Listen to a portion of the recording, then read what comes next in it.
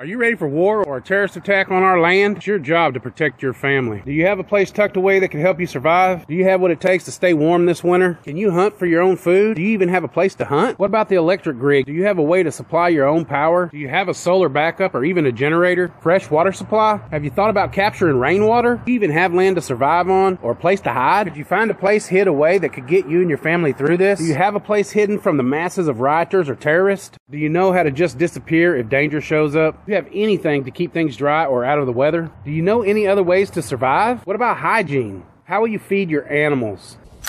Remember, the winter is among us. Pray that your flight does not come in the winter.